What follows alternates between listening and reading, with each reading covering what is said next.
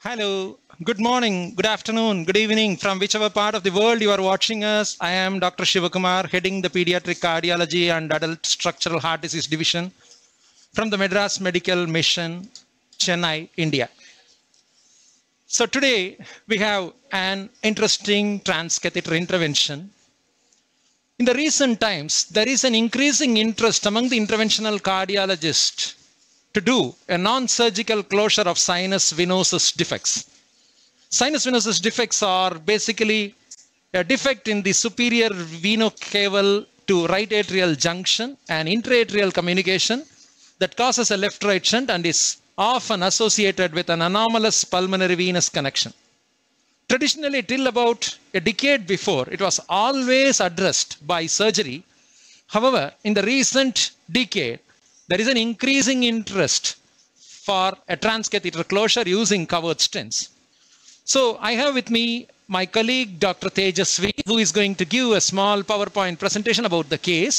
I would like to introduce the other people here. It is Dr. Pramod Sagar, who is the imaging specialist. Dr. Fareen Qureshi is our final year fellow who is going to assist me. Uh, Sister Jay Chitra and Nadira, who are the circulating and scrub nurses, and Prabhu and Surya, who are the technologists. Over to you, Tejasvi. Thank you, sir.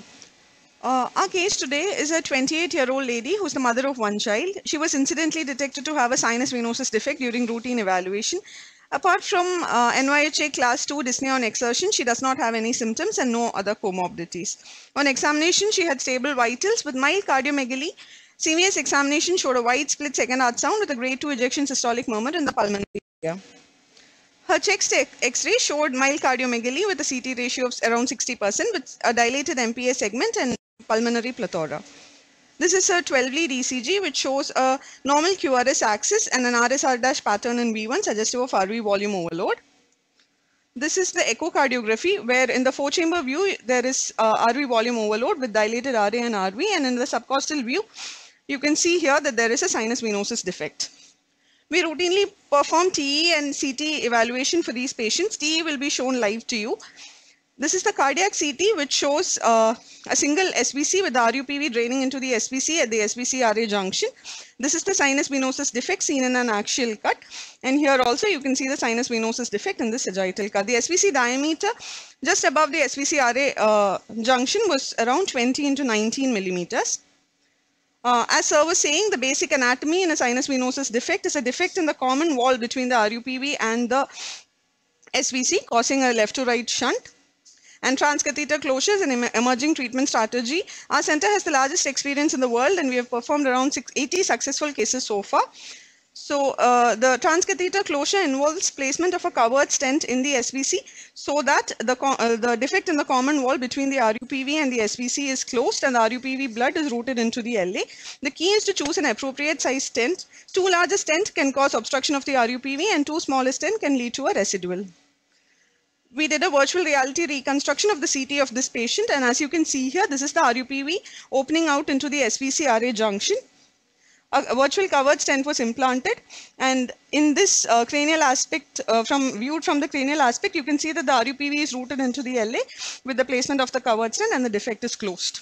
Over oh, that was a wonderful, wonderful uh, description, Dr. Tejasvi. Thank you. Can you just go to the previous slide, please? I just want you to retain this PowerPoint. Actually, here you have nicely shown that the sinus venosus defect is actually an intraatrial communication out of the confines of oval fossa and the surgeons try to roof it, roof the right upper pulmonary vein by a pericardial patch. Whereas in the uh, transcatheter covered stent strategy, it is the wall of the covered stent which is going to form the roof of the right upper pulmonary vein and thereby routing that right upper pulmonary vein towards the left atrium and allow the superior vena cava to drain through the lumen of the covered stent into the right atrium. So thanks, thanks for a nice uh, presentation. Uh, Pramod, can you explain the transesophageal echocardiography today morning that you have acquired? Yeah. Good morning, everyone. I'll be demonstrating the transesophageal echo that we performed in this patient. This is a frozen frame which I'm showing early, uh, showing now. This is in the upper esophageal view in zero degree. This is the right pulmonary artery and this is the superior vena cava. When I push the probe downwards, as we can see here, here we see that the right upper pulmonary vein is draining towards the SVC RA junction. I will show this again with the color.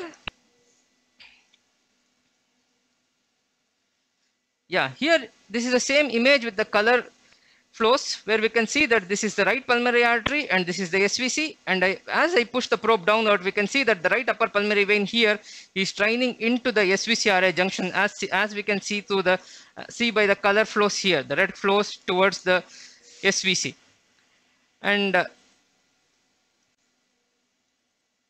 when I push the probe downwards further we can see here the, SV, the sinus venosus defect is opening I'll just freeze it and show again. Yeah. Now, the defect here that we can see when I'm pushing downwards is the sinus venosus defect. This is in the zero degree view. Now it's the color again to show the same thing when I am pushing and I'm bringing the color to the defect. We can see here the torrential flows from left atrium into right atrium through this sinus venosus defect. And we can compare it compare it. This is the defect here and this is the color flow we can see on the right side.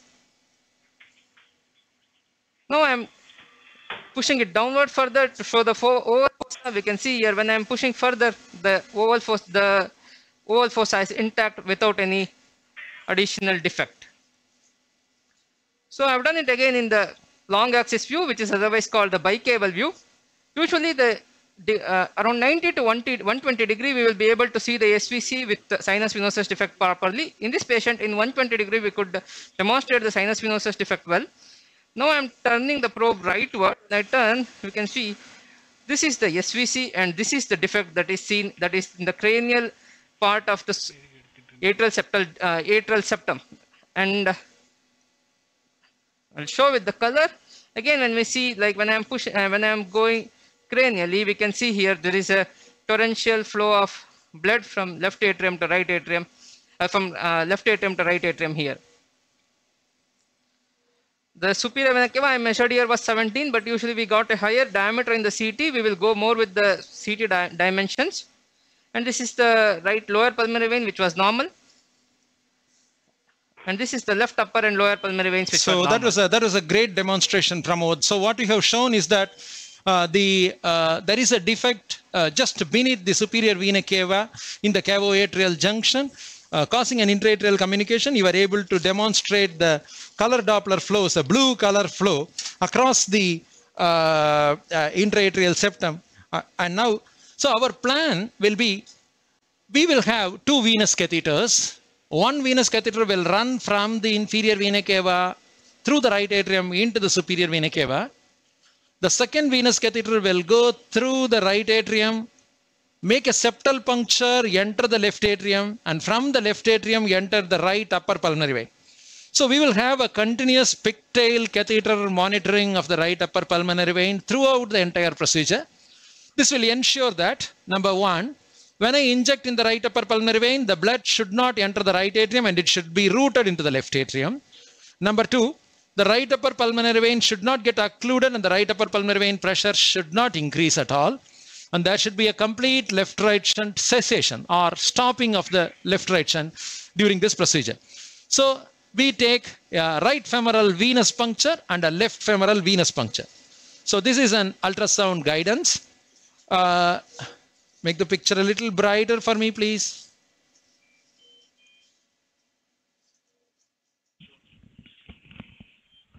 So now this is the right femoral vein that we are accessing. We put in a standard 6 French introducer. The patient is anesthetized for facilitating this transesophageal echocardiography.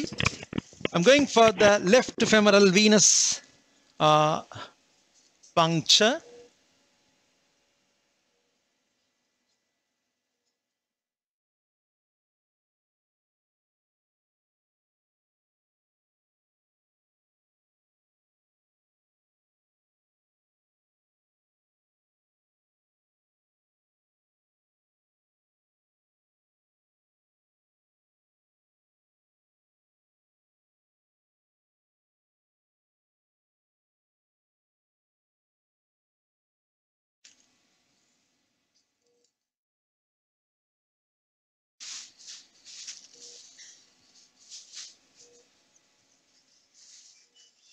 So we are, uh, the vascular access is completed.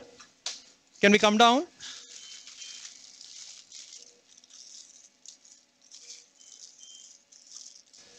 Enable the X-ray.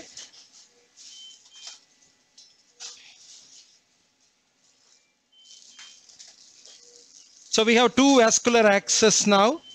We will give at this point 5000 units of unfractionated heparin.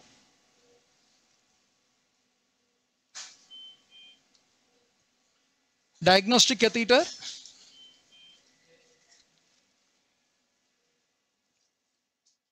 Judkins right 5 French with Terumo wire. So uh, So I'm taking my catheter through the left femoral vein. We are going through the inferior vena cava.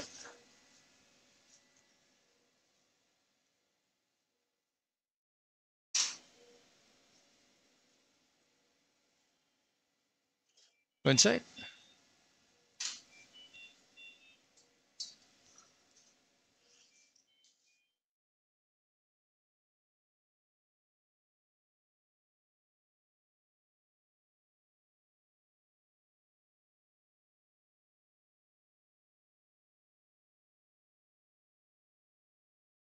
So we enter the uh, right um, I mean pulmonary artery. We record the pulmonary artery pressure and the radial artery pressure for comparison.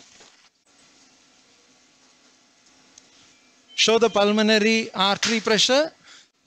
The pulmonary artery pressure is normal. The patient is anesthetized.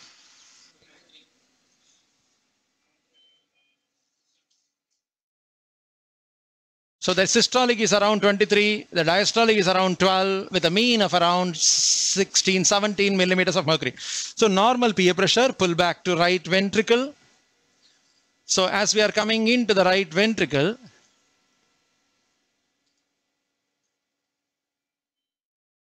the right ventricular pressure is sort of similar. It's around 23 millimeters of mercury, right atrium. So the right atrial pressure is about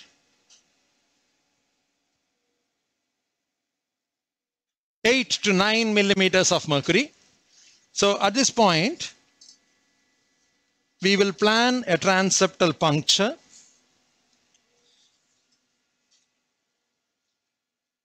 So we are entering into the, show the, uh,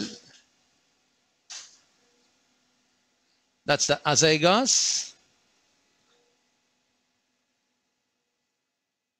The reason why we take the transeptal puncture is for a complete documentation of the right upper pulmonary vein uh, pressures throughout the entire procedure during our balloon interrogation, during the stent deployment, and even after the stent deployment.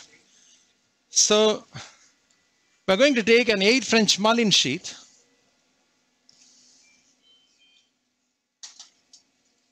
This is a standard Cook 8 French Mullin sheath, a small blade system. We'll be making the septal puncture in the fossa ovalis, guided by transesophageal echocardiography.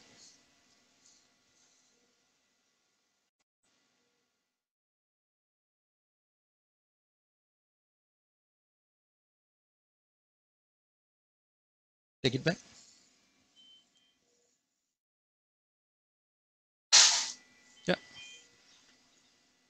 Transeptal needle with contrast.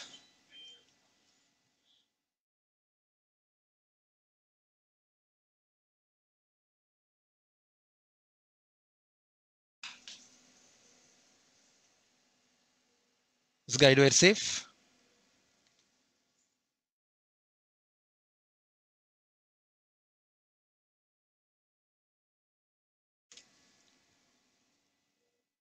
Connect, contrast. So this is a standard BRK needle, one. Okay. So we are introducing through the transeptal sheath. We are tracking it down. So we make a We make a transeptal puncture at this point.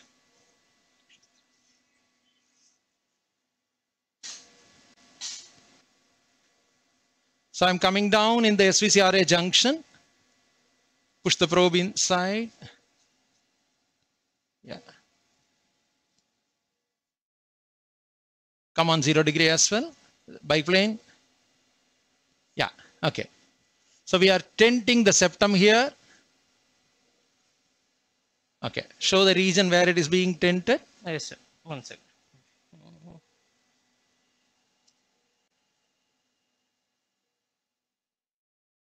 So I have advanced the needle. Yes, here. So this is in the left atrium.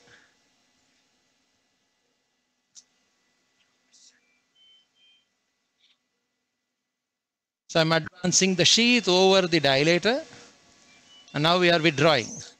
We had already given heparin for this patient since we are doing this septal puncture on transesophageal echo guidance.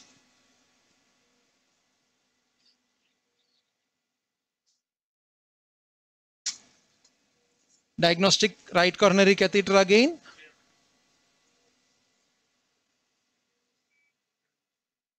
We'll record the left atrial pressure. Obviously, it has to be the same as right atrial pressure because there is a large sinus venosus defect.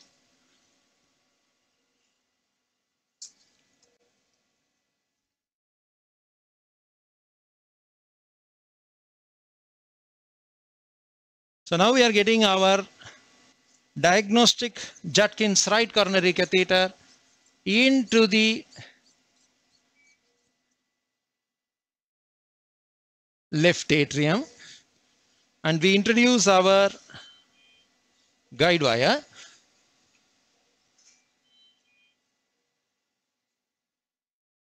I withdraw the catheter all the way till I am pretty close to the intraatrial septum. I'll try to divert this right coronary catheter more towards the right atrium, right side.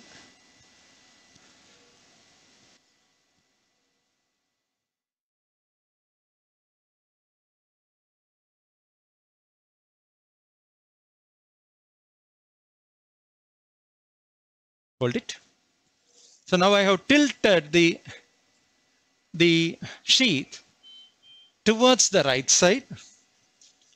At this point, I advance the guide wire into the right upper pulmonary vein.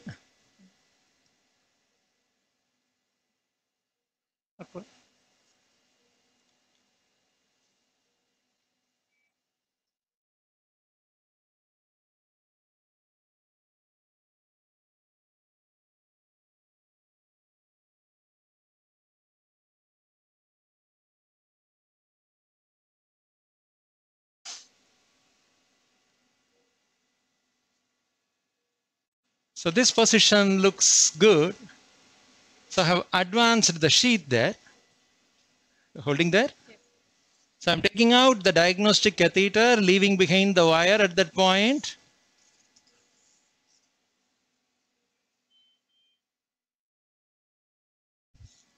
Again, flush this catheter.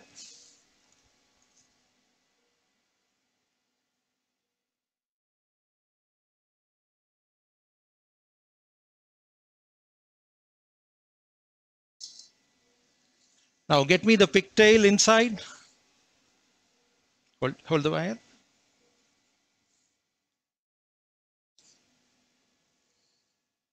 So this 5 French pigtail that is going into the right upper pulmonary vein will be our main pressure monitoring catheter and the angiographic catheter.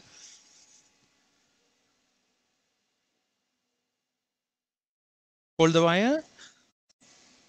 Hold the wire.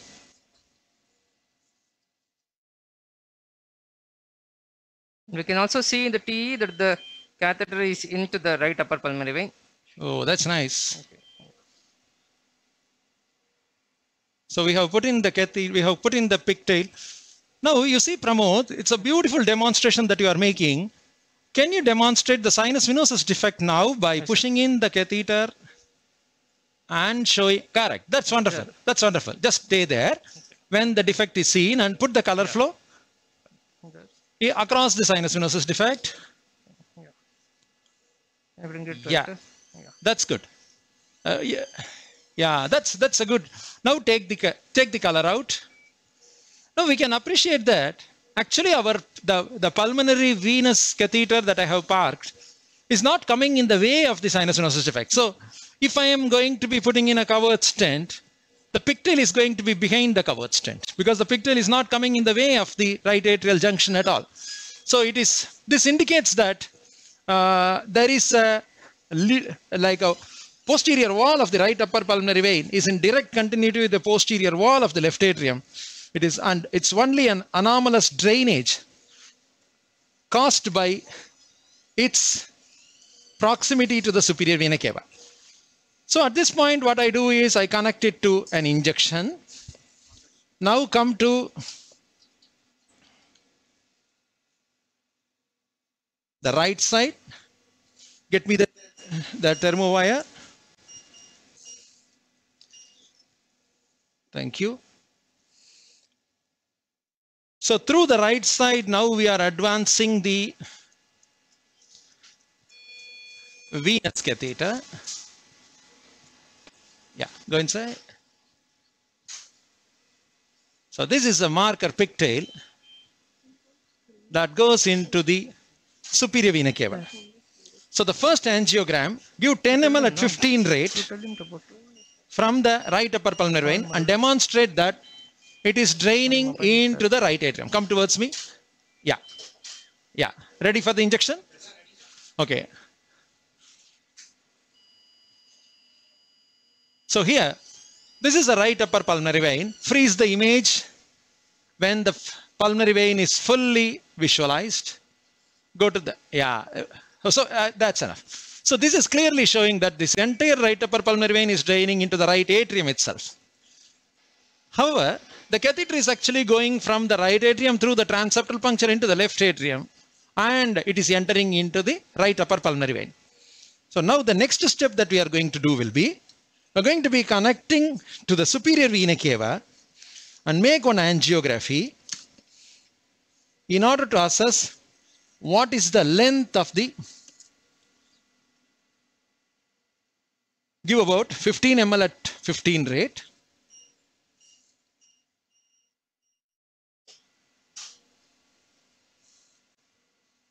Okay. Table little down. Yeah. Ready for injection should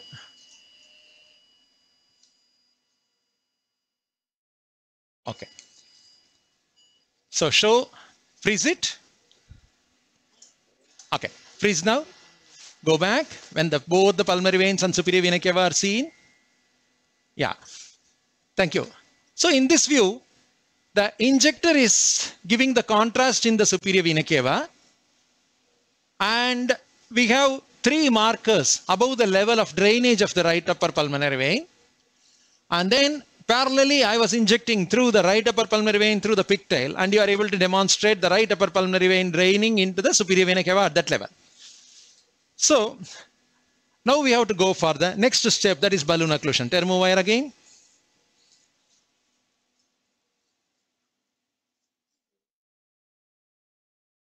I want the Judkins right again.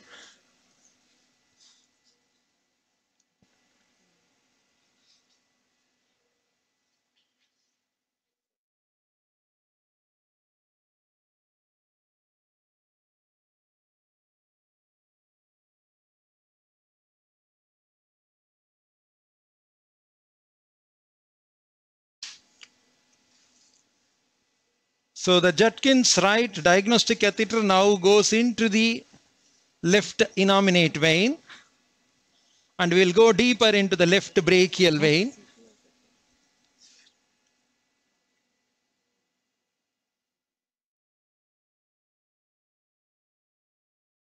So this is entering into the left innominate vein, track the vein. Okay.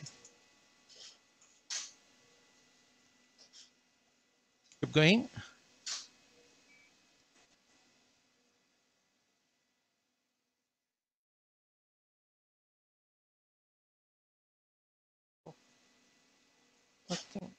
The patient's hand is abducted, so we are advancing the catheter We can do everything. into the normal leg like uh, now we get a stiffer wire the Lunderquist Should I tell them?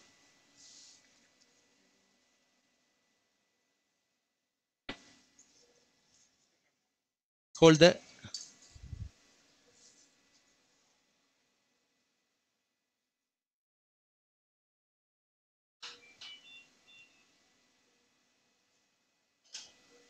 come back to the heart.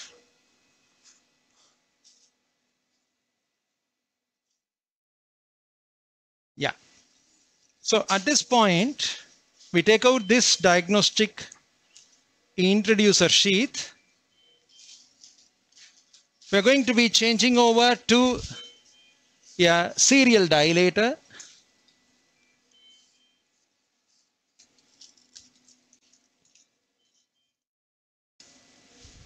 So this is a serial dilator. It starts with 18 French, 20 French, 22 French.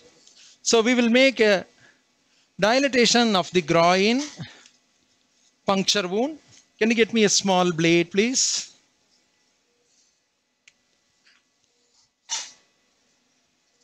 and a small artery forceps as well.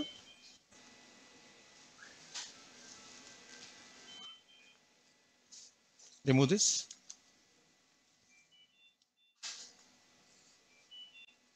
So I'm introducing this small graded introducer.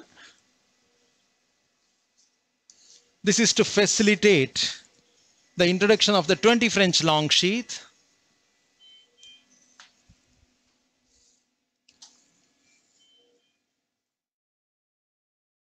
So this is a long 20 French introducer sheath.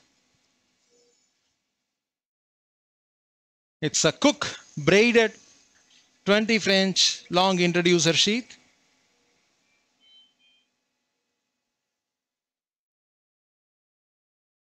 Remove this. Because of the pre-dilatation, it goes in smooth. So now we are withdrawing this dilator. Just hold it.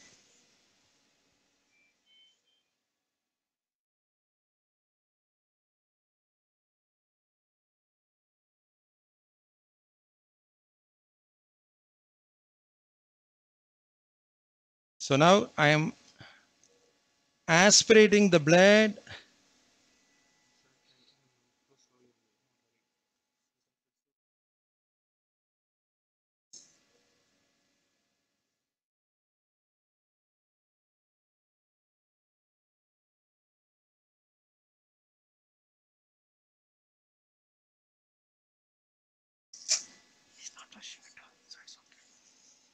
So we are going to now flush it. Change to arterial pressures. Yeah. So the hemodynamic monitor now shows radial artery pressures in yellow color and the left atrial pressures in red color. The Mullin sheath in the left atrium is now, I want a 24 millimeter long cylindrical balloon.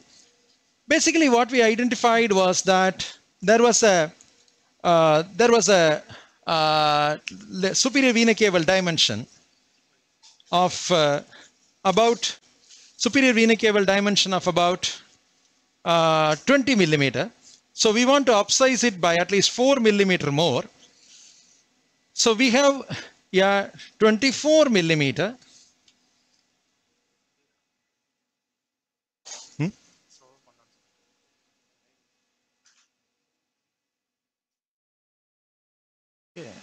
So we can- have a, this is a, a 24 millimeter balloon. So this balloon now enters into the Lunderquist wire.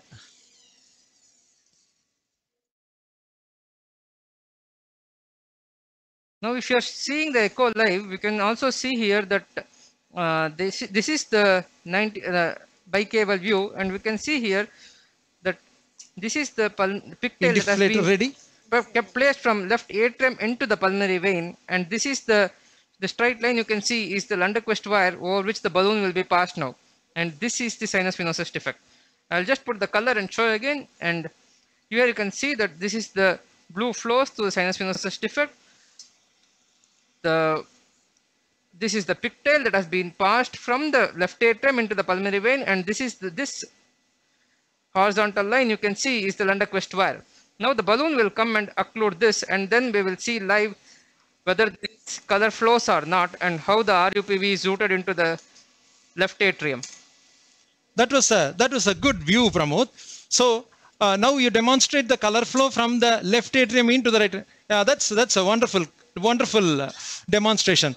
Now, what you would be anticipating, Dr. Pramod, will be when I inflate the long cylindrical balloon across the cavoatrial junction, this blue color should disappear, thereby indicating that there is no communication from the left atrium to right atrium. Is that right? Yes, sir. Great. So what we'll do is we will uh, will advance the balloon. Now I am de-airing the balloon.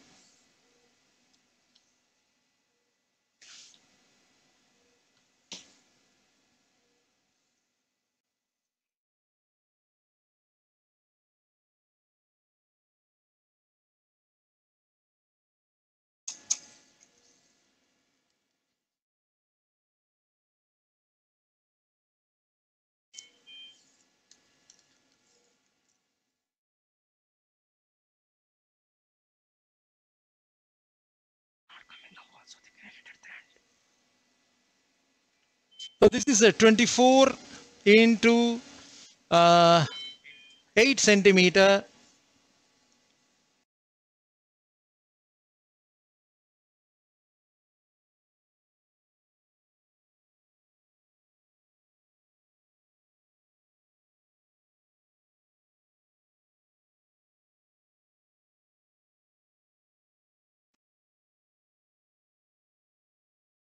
So I'm progressively de-airing the balloon.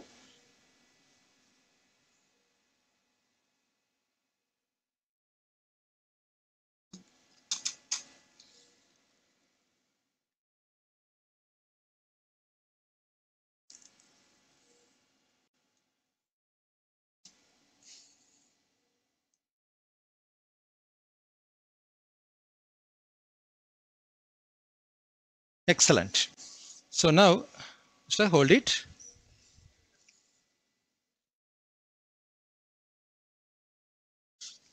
So I'm introducing this through the long sleeve. Hold it like this.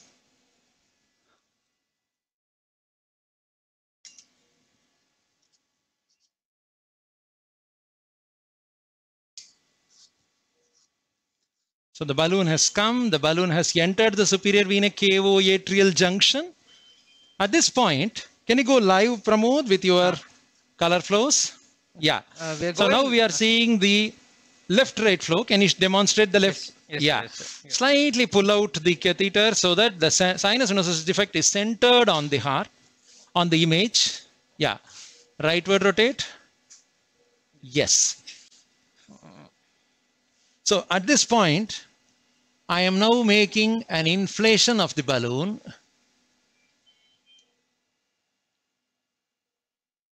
Keep it pushed in. Tell the number, please. See, as we are inflating, we can see here on the left side of the screen, the balloon is getting inflated. And on the right side, the color flows that was seen earlier is, has completely disappeared. Now I, t- now, now I will uh, turn it more to the left sh- to show the right upper pulmonary venous drainage. Now we can see that the right upper pulmonary vein is routed fully into the left atrium as seen by the color flows here. This is the color flows.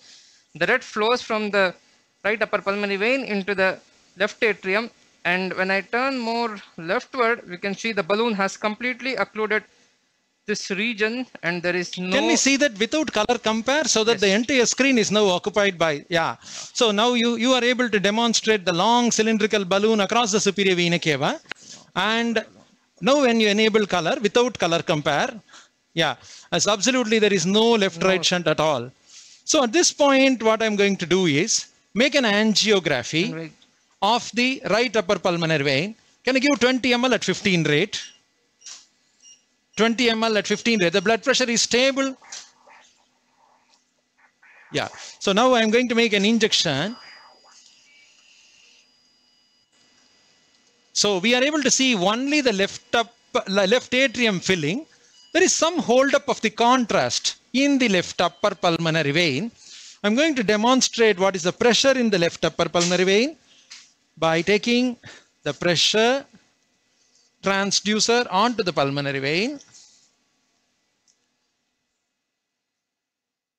Simultaneously, I have turned the probe more rightward to show the right. Okay. Show the pulmonary venous pressure in low scales. Yeah, that's enough. That's enough. That's enough. So the pulmonary venous pressure is around 12 millimeters of mercury, 12 to 13 millimeters of mercury. And on uh, Doppler, pulse Doppler, can you Doppler it? Yes, I'm Dopplering it now. So this is the pulmonary venous pressure. I'm going to demonstrate the left atrial pressure. See, the my, my Mullin sheath tip is in the left atrium. So this, this pulmonary venous pressure is now 12 to 13. I'm disconnecting this and connecting it into the left atrium.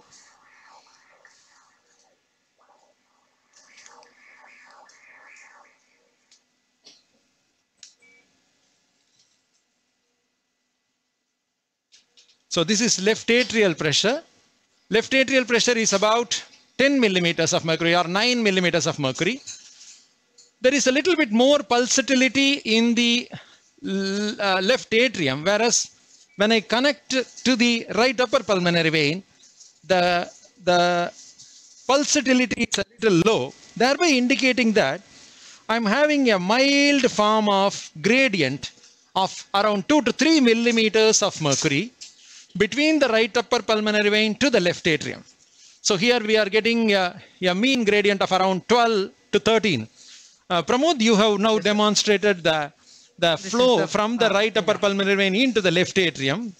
Yeah, Now, when we see here, when I turn more the probe towards the right, I can see the color flows from right pulmonary vein into the left atrium. The only thing is we can see some amount of uh, turbulence here. pre-mounted 24 into 7, pre-mounted. Make it better. Yeah. That's the we 24 can into see a minimal turbulence here, as uh, sir was You don't have mentioning. So here also we can see there is a minimal turbulence, but however there was no significant gradient when I did a pulse wave Doppler. It was only it was again coming to around two, and uh, So Pramod, at this point, I'm going to deflate the balloon so that you are able to demonstrate the left-right shunt that is going to start. So keep the color on. yes. I am deflating now the balloon fully. And as I deflate, you should be able to demonstrate the color flow again from the Yeah, we can see now the color flow starts. demonstrate the atrial septum, the cranial end a little bit. Yeah, Yeah, yeah, here. yeah. So that that is the that is the right left shunt. That is a left right shunt. So we are convinced that the uh, this this patient's sinus venosus defect is going to be closed by yeah 24 millimeter covered stent. So what we'll do is we will take out this balloon just recheck the uh, pulmonary venous flows and the sinus venosus defect flows. Yeah, now we are ab- able to clearly see that there is a left right shunt through the sinus venosus defect.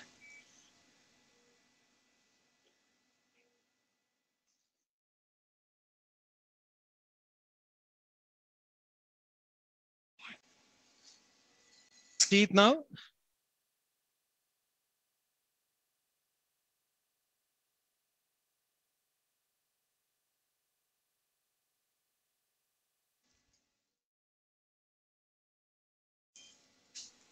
I need two indeflators. One for the inner balloon and one for the outer balloon when I am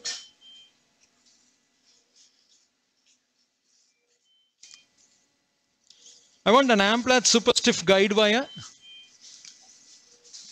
Since the now now we are I am demonstrating the right upper pulmonary vein pressure this is without any balloon across, uh, you can see that the right upper pulmonary venous pressure is around 10 millimeters of mercury.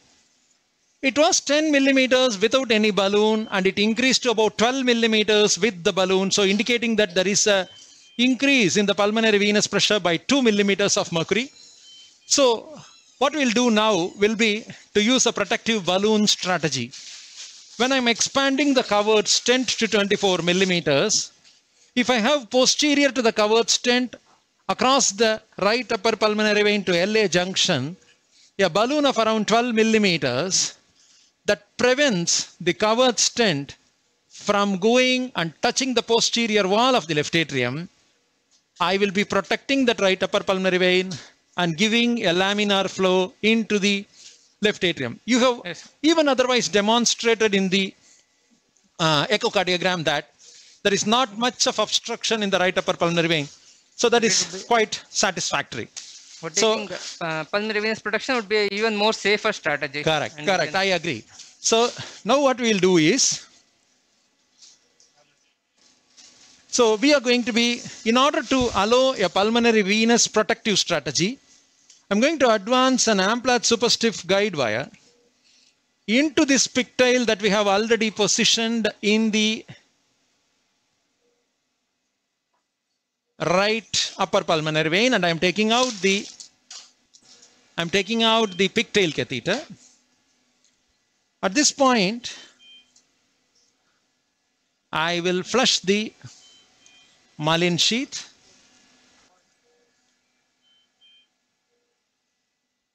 Sister, can you make one check of the activated clotting time from the radial artery catheter? One ACT check, please. So this is a, a 12 millimeter Mustang balloon, a 12 into 4 Mustang balloon.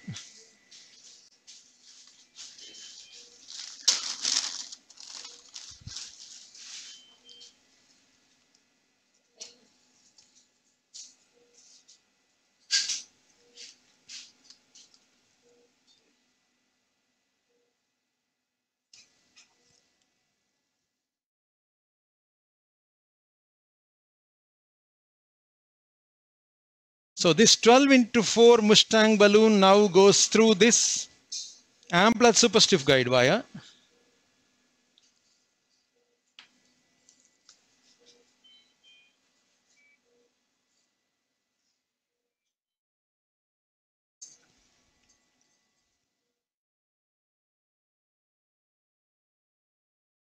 Hold this guide wire here.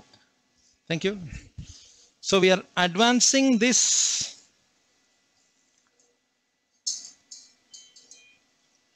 Mustang balloon.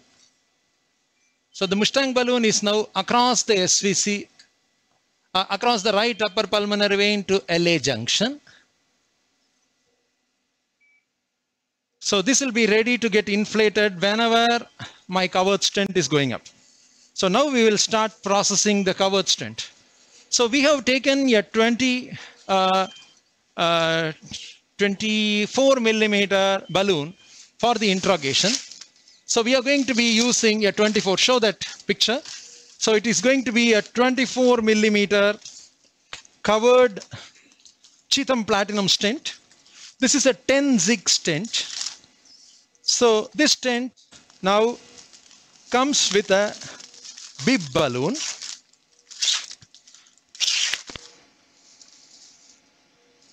So this is the 24 millimeter. Is it 24 into 7? Yeah, 24 into 7. So this is a pre-mounted covered stent. It has got two balloon ports and one lumen port. So the lumen port is green in color,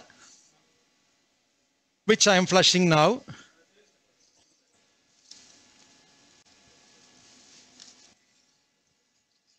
Now there are two other color ports. The blue color is indigo. So the indigo is for the inner balloon. The orange is the O. Orange is for the outer balloon. So O orange outer balloon, I indigo inner balloon.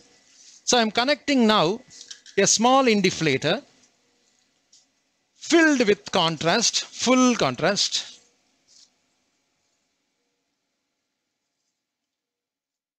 take full amount of contrast.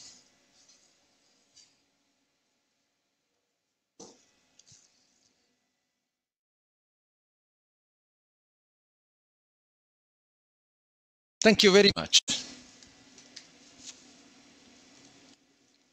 Yeah, that'll be nice. So this is now, yeah, keep, keep uh, filling the syringe.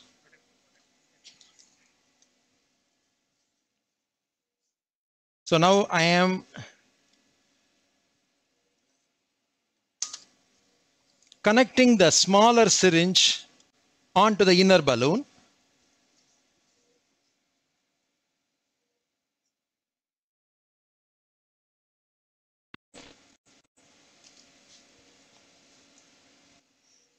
The availability of these custom-made 10-zig long CP stents will make this procedure more comfortable now, sir.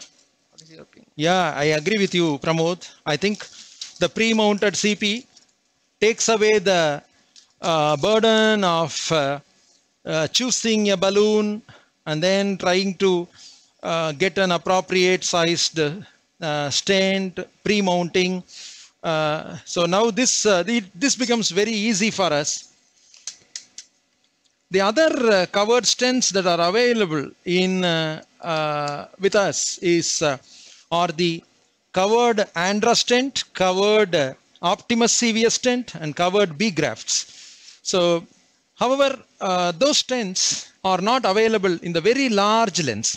I want now a balloon for the outer balloon. Yeah, an indeflator for the outer balloon. So now I am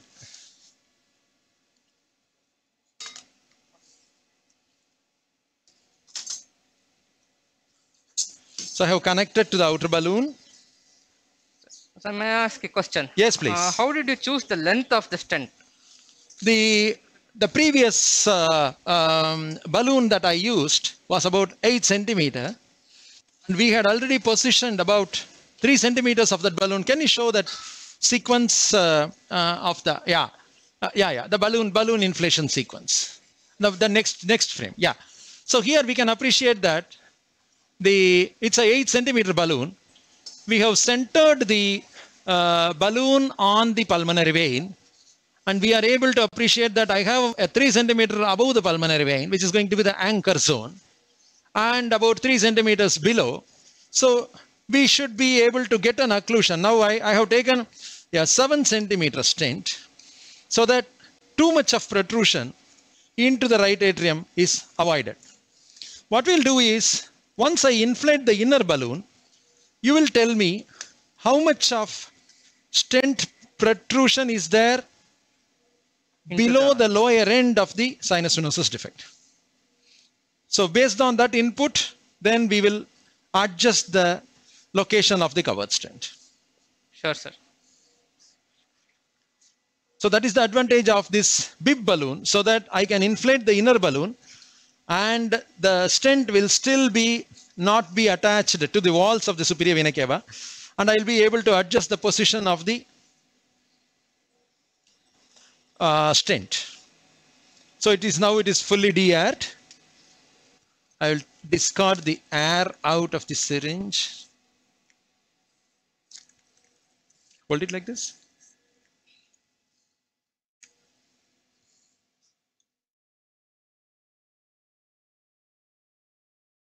This is diluted. Okay.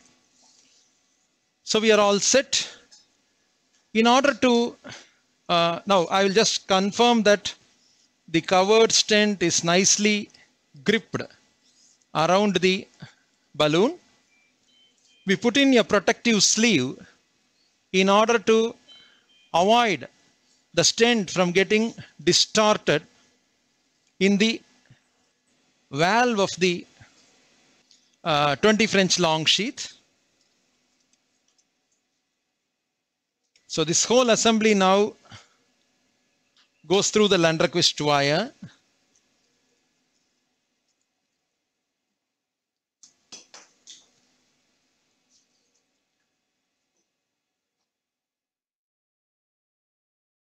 Keep it straight, please.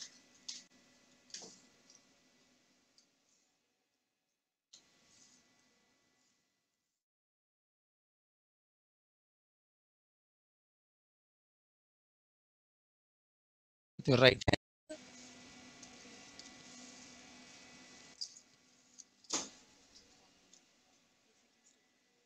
ACT is 248 seconds, which is reasonably adequate. So we will continue with the same dose.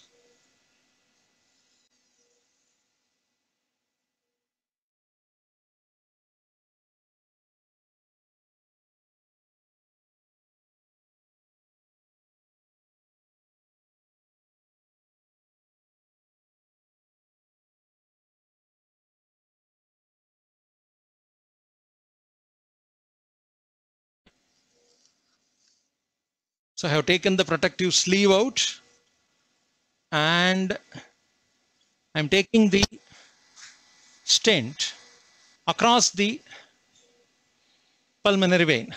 At this point, I will check where is my pulmonary vein by a contrast angiography. Can you give me, a, yeah, dye? Okay.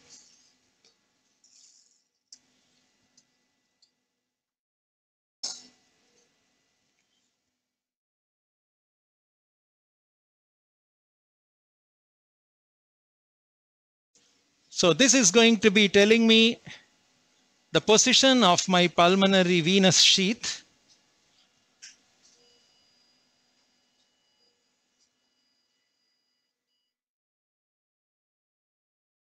So at this position, I am reasonably advanced. I'll further advance the covered stent a little bit more so that I get even better anchor. At this point, probably I will repeat another picture.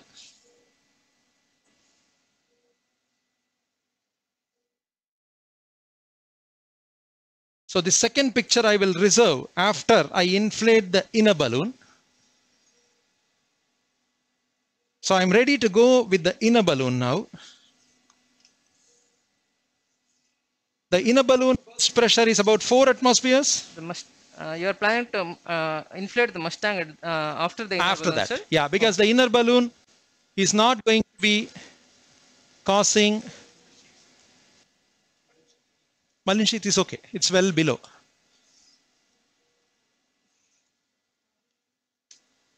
So now I am inflating the inner balloon entirely.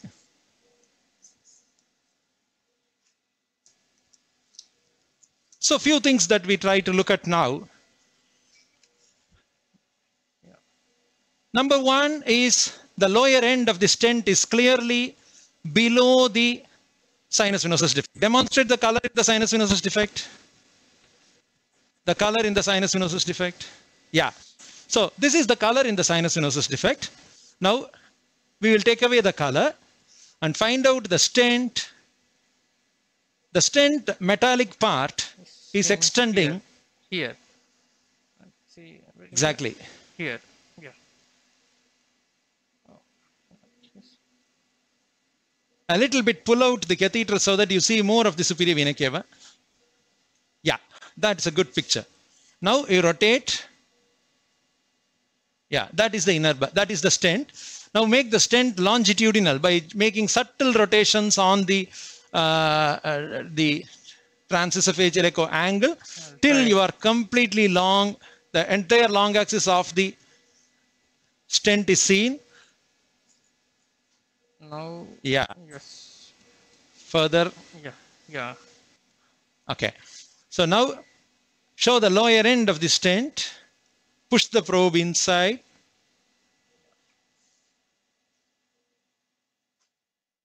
Yeah. It's quite lower down. Quite lower Quite down. low. So now I'm going to make another injection on this right upper pulmonary vein sheath.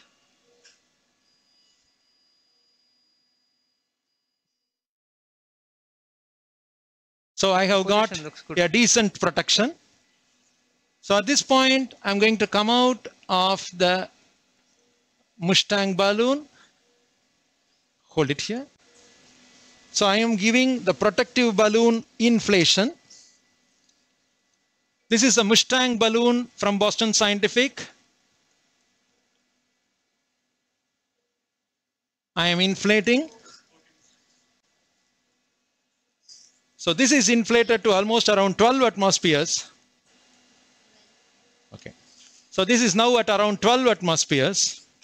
This 12 atmospheres is going to ensure that the covered stent when I am inflating to about 4 atmospheres is going to be posteriorly indented.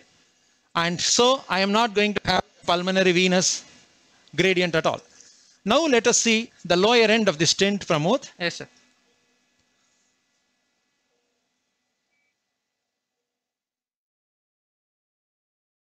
Yes, this is fully elongated now. I'm Okay. pushing downward. Okay. You can see quite lower actually. It's quite low than the defect. It's quite, it's, yeah, the pointer you can see that is the lower end and this this is the region of sinus venosus defect and it is quite lower down and we have a at least uh, 2 to 2.5 centimeter below that Okay. So at below this point,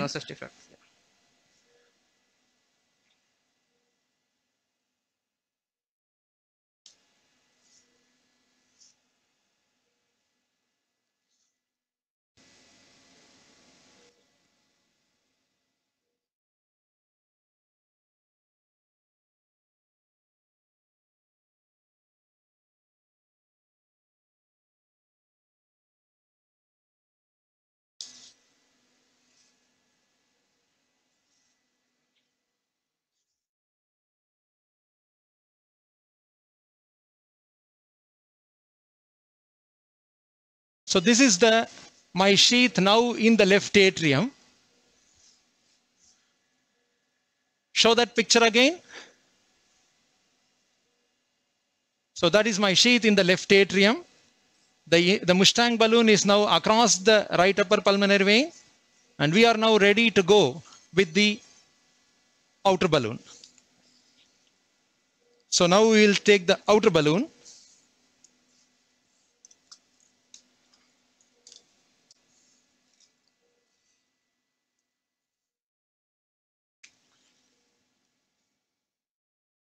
So now I am inflating the outer balloon.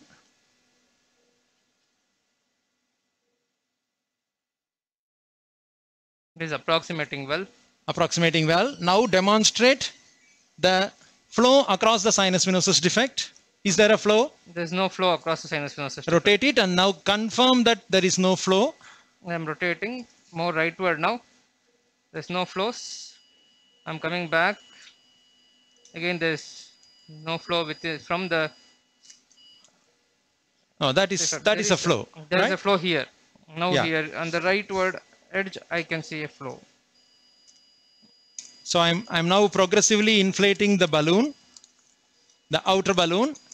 Look at the color flows. That color flow. Uh, this is the region, and uh, we are getting that the flow is decreasing, and now there is some minimal flows there. Okay, now co- come to a rightward rotation and demonstrate.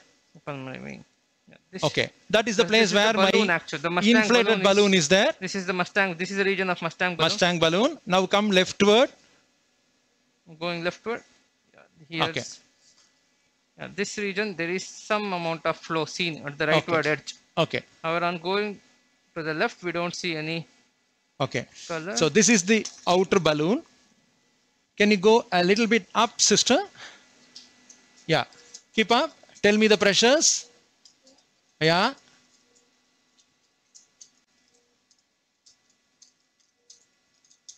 That's enough. That's enough. Now look at the color flows.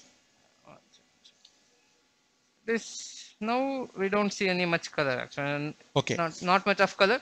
Very negligible color flow can be seen here, but otherwise Okay. I am going to now flow here. deflate the balloon. I am deflating the balloon.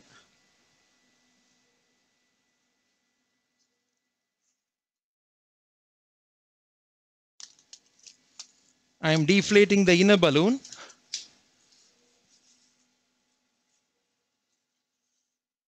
I have completely deflated the balloon. Go to zero degree and then check. Now I'm going to be deflating my right upper pulmonary vein balloon.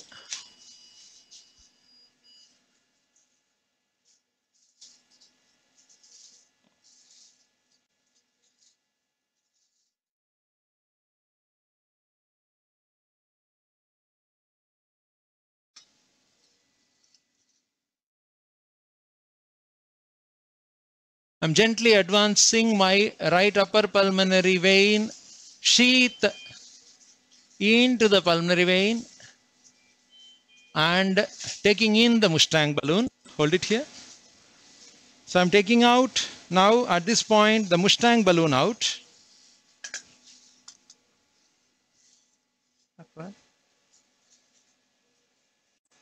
You're holding it there.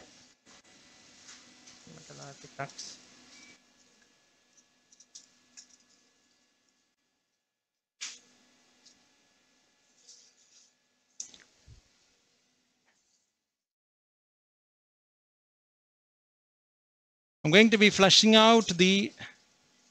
Okay, now can you that that's on a zero degree. That's a horizontal degree plane. Horizontal view. Can you can you show me now the level of color flow? Color, yeah. We don't see any. color a little above? Yeah. Little above? Yeah. Okay. Okay. Now that is the right upper pulmonary artery that you are Yes. showing. So as you are going inside, I'm pushing the probe downward now. yes, correct. That This is is the the right, right upper upper- pulmonary vein draining into the left atrium now. Oh, Pointer. Now come to the middle, keep the stent in the middle. Yeah. So that is the stent across the SVCRA junction. The right upper pulmonary vein flows are looking laminar. Can we take one pulse wave Doppler at that point? Yes.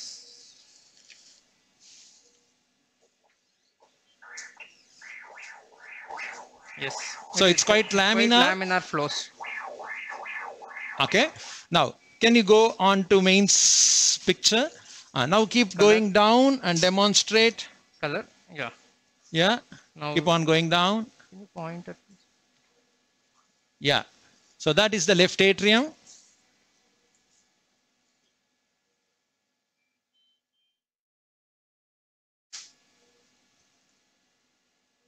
going downward? I'm Leave too it. down into the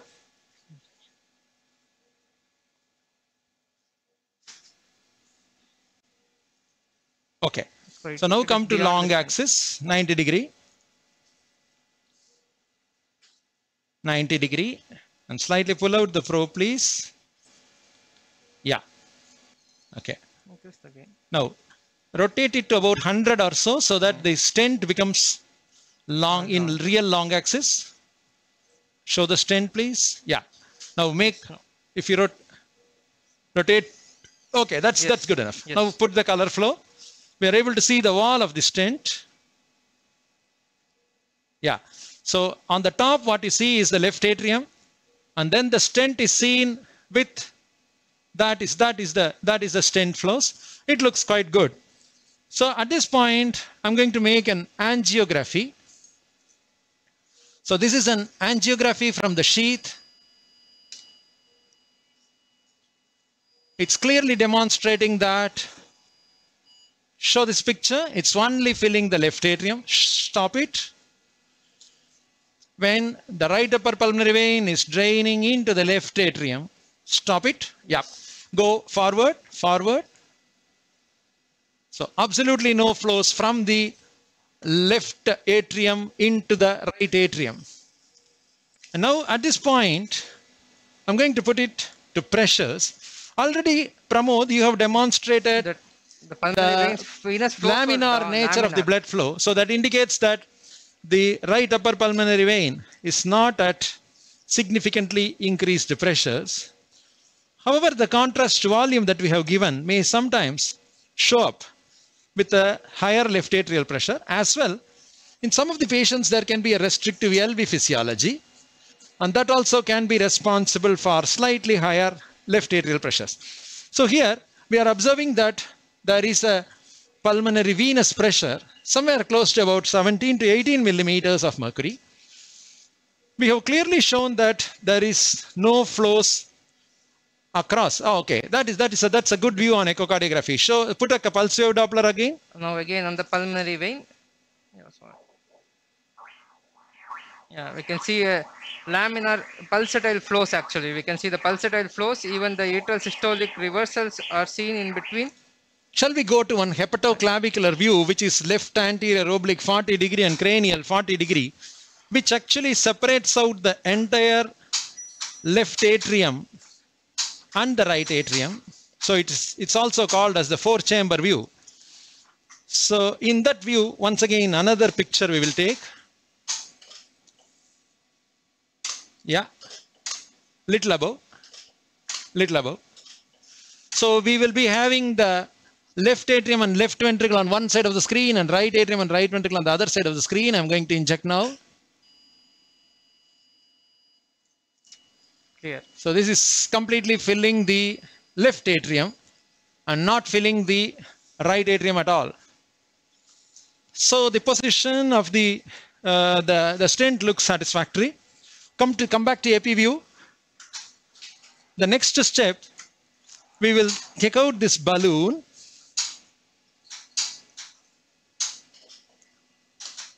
So the balloons have been deflated.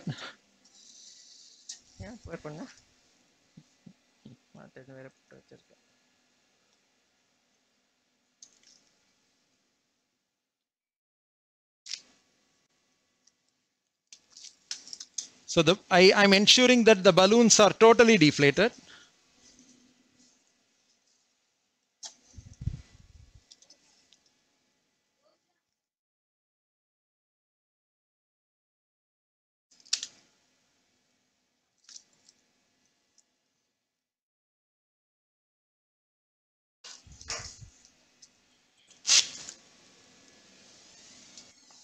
So now we're going to slowly get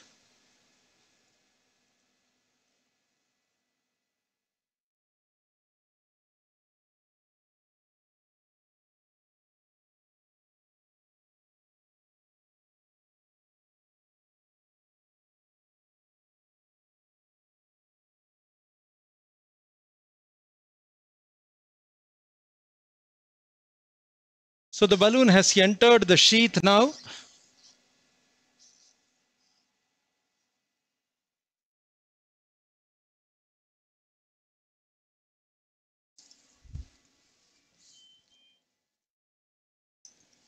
So the balloon has come out. We will now de-air the sheath.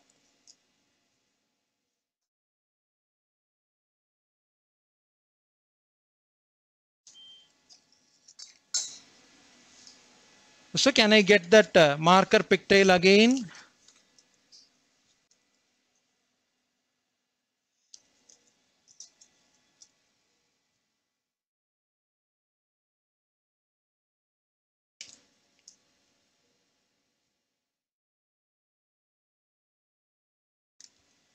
So we will advance this marker pigtail into the Lunderquist wire.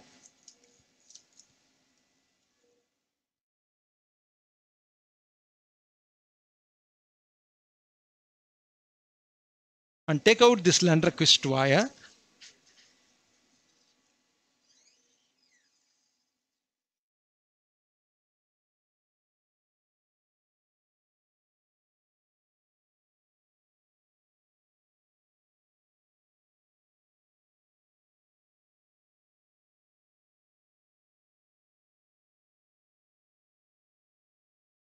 So the Lunderquist wire comes off we're going to be making one angiogram of the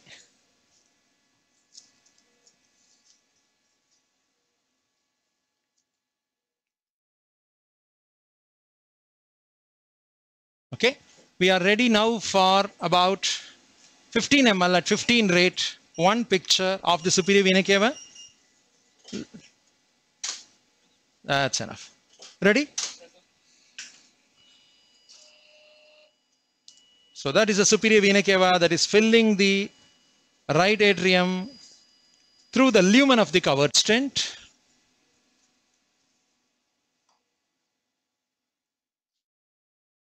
Now, once again, can you make one check, Pramod, of the... Yes, sir.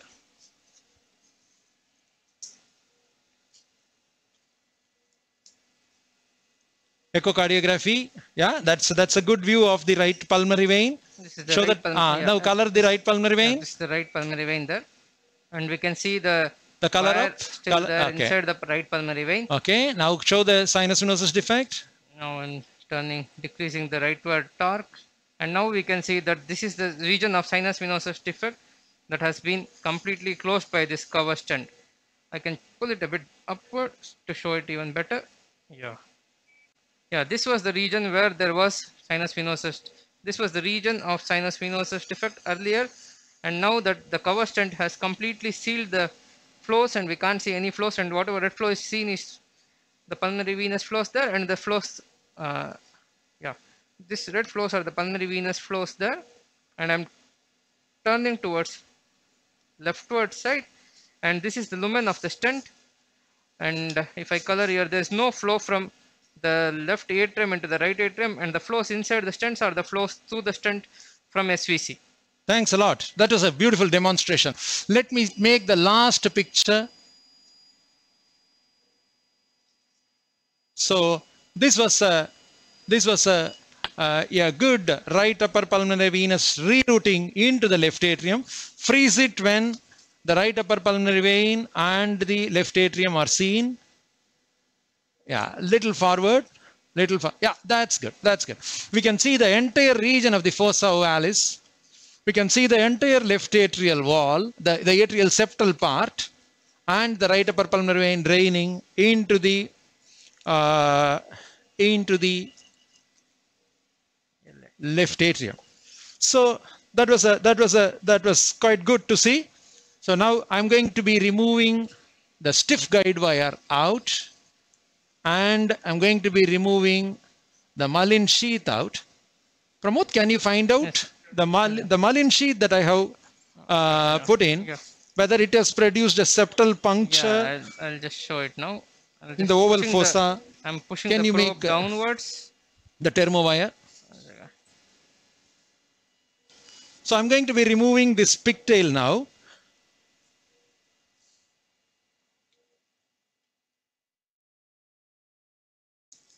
Are you able to appreciate the septal Yeah, puncture there's- hole that we have made? Yeah, this was the region of. Okay, one second. Uh, let's look for this. Okay. No, on this one. Color the. One second.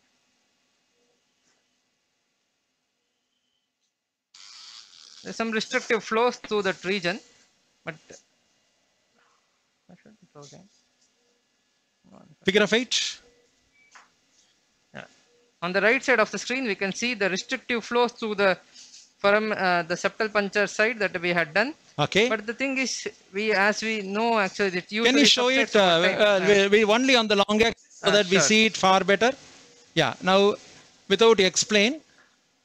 Yeah. Yeah. Can you? yes. No. Yeah. So that was the Yeah. that was the color flow through This the septal puncture that we have made. Can you measure that hole if we can? Yeah. yeah, Sure. Needle holder. Uh, color out. Yeah. Color out.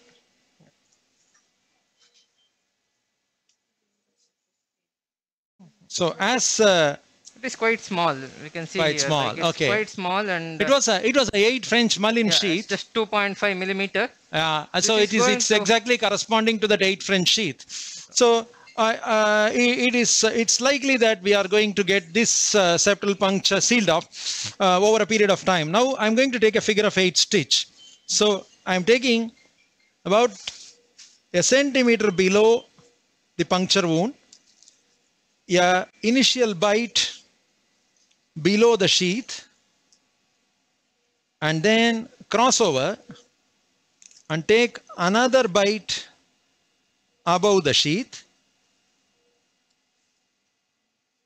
So this is a size 2 silk which will be removed about uh, 6 to 8 hours later. I'm taking a second bite just to reinforce the previous stitch. The sutures go almost on the same lines. So this is the second layer.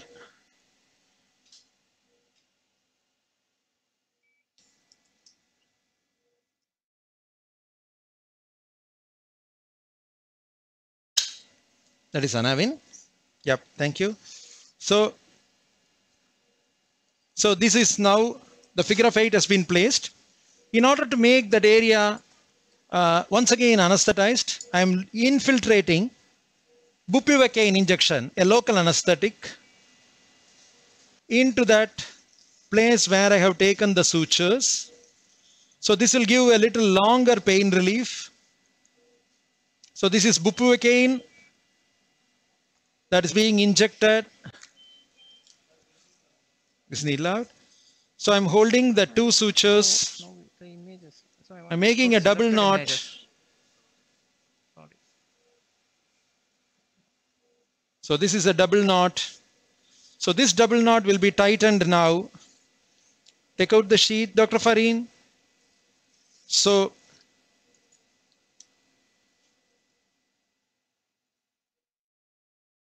So I have tightened it.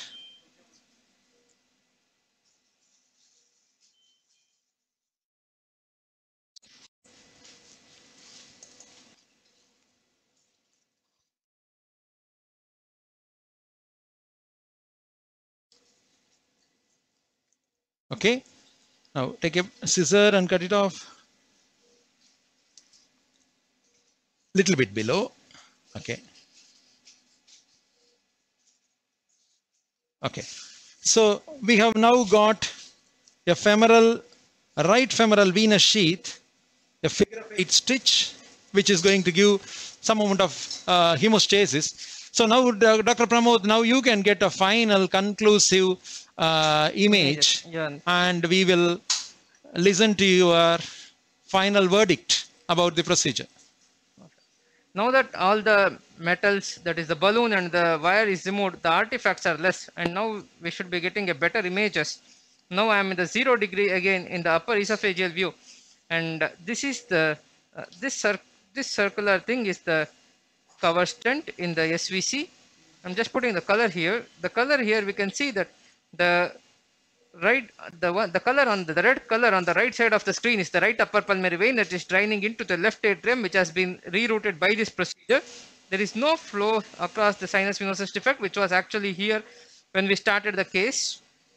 Now i push the probe downward and this we can see here the metallic markers of the stent. Very clearly the circle Prabhu, the circular ones. Get the last picture. and there is no flow from right and there is no flow across the septum and the ASD has complete the sinus venosus defect has completely sealed off. Previous. The, and this the is the lower vein. portion of the stent. This is the round structure we can see the lower part of the portion of the stent which is well beyond the level of uh, the previous septal diff so SVC type of sinus venosus defect. Now I'm going to the 90 degree again to show the same thing. Now I'm pulling the probe upward this is the stent in the long axis. This is the lower edge of the stent where we can see the metallic the artifacts here. And then when I color here this was the region of sinus venosus defect which has completely sealed and I'm rotating more rightward.